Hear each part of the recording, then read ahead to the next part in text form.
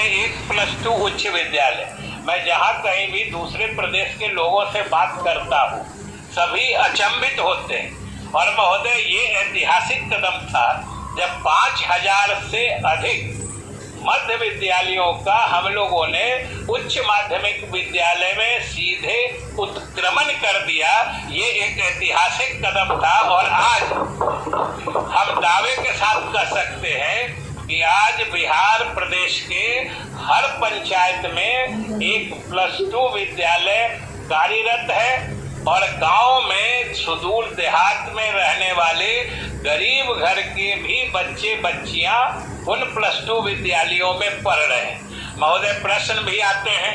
हमसे माननीय सदस्यगण मिलते भी रहते हैं और इस बात को हम स्वीकार करते हैं कि जितने भी ये साढ़े पाँच हज़ार से अधिक जो प्लस टू विद्यालयों का हम लोगों ने उत्क्रमण किया है, वहाँ अभी भवन का अभाव है, वहाँ अभी शिक्षकों की कमी है, ये हम स्वीकारते हैं, लेकिन हमने मुकम्मल कार्य योजना बना ली है और आने वाले समय में हम बहुत जल्द पूरा करना चाहते हैं। महोदय, जैसा कि अभी हमने कहा कि माध्यमिक, उच्च माध्यमिक विद्यालयों में तीस हज़ार शिक्षकों की नियुक्ति की प्रक्रिया हम लोग लगभग पूरी कर चुके थे। चार पाँच दिनों में हम लोग नियुक्ति पत्र देने जा रहे थे। इसी बीच न्यायालय का हस्तक्षेप आया। एक सत्रह उन्नीस बैच के लोगों को उसमें शामिल कराने का मामला था। हमने कहा कि हम उनको शामिल करा लेंगे अगली बार में, अगले चरण में। अगर किन्हीं की उम्र सीमा पार हो रही होगी तो उनको वो भी हम शांत कर देंगे, लेकिन हमें नियुक्तियाँ करने दीजिए, क्योंकि हमारे विद्यालयों में शिक्षकों की कमी से पढ़ाई बाधित हो रही है। इधर हमारे योग्य अभ्यर्थी बेरोजगार घूम रहे हैं, ये स्थिति सरकार के लिए बहुत दुखदायी स्थिति है।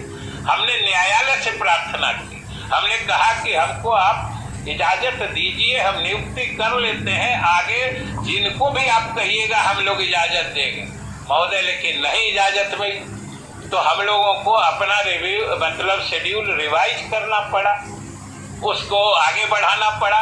लेकिन महोदय, हम लोगों ने भी तुरंत, तत्क्षण उसको फिर से पुनरीक्षित करके, अभी हम लोगों ने नया शेड्यूल जारी कर दिया है।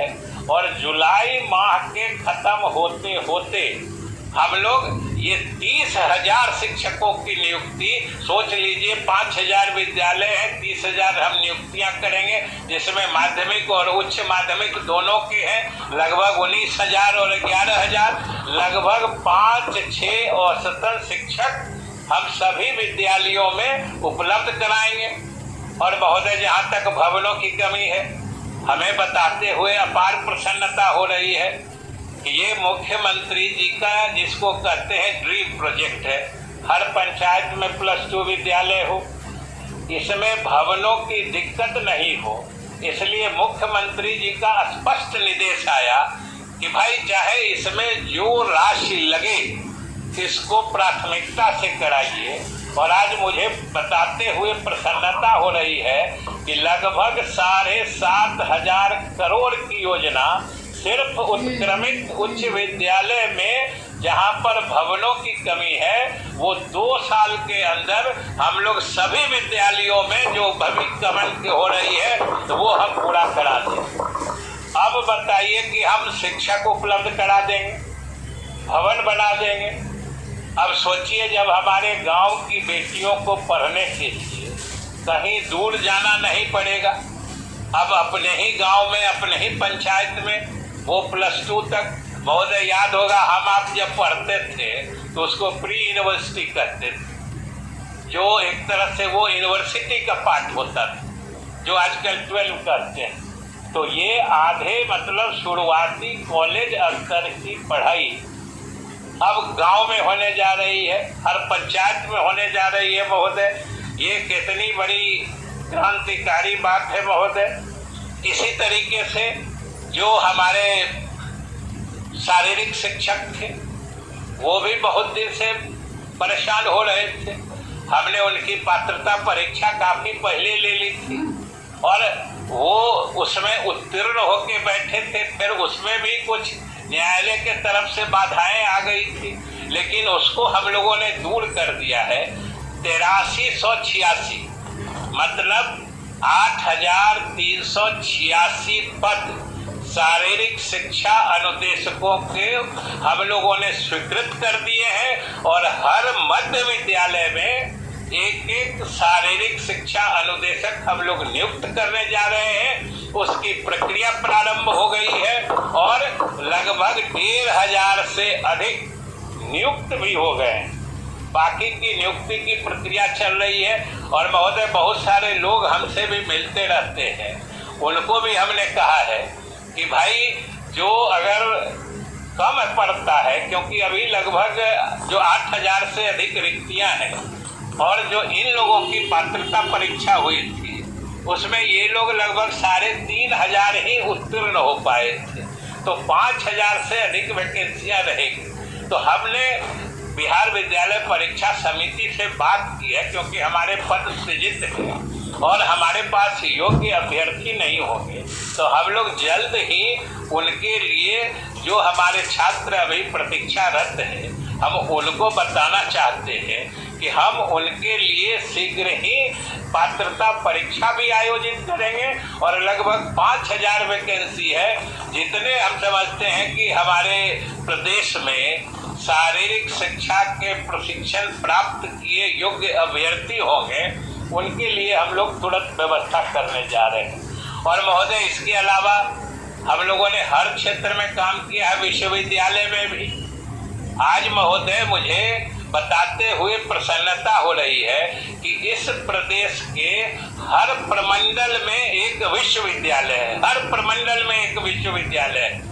हर ज़िले में पीजी की पढ़ाई प्रारंभ करने की योजना बन चुकी है हर ज़िले में।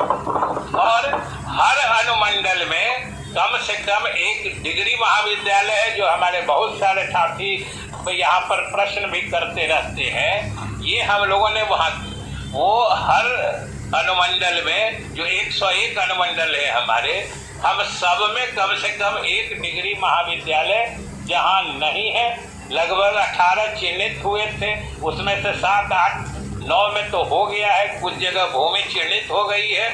हम लोग उसकी भी व्यवस्था कर रहे थे कि हमने मदरसों के संबंध में जो मदरसा एक्ट उन्नीस सौ इक्यासी में बना बहुत है उन्नीस में बना, लेकिन उस एक्ट में जो प्रावधान था कि इसके क्रियान्वयन के लिए नियमावली बनाई जाएगी, वो आज तक नहीं बना था महोदय।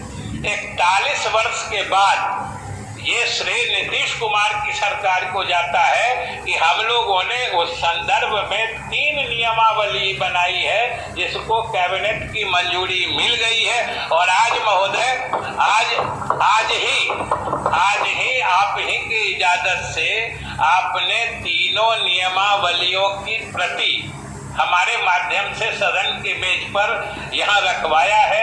वो सारे सदस्यों को मिल जाएगा, उसको देख लीजिए। और महोदय, इस संबंध में एक बात हम और स्पष्ट करना चाहते हैं, क्योंकि इन नियमावलियों के बारे में लोगों में बहुत तरह के भ्रम फैलाए जा रहे हैं।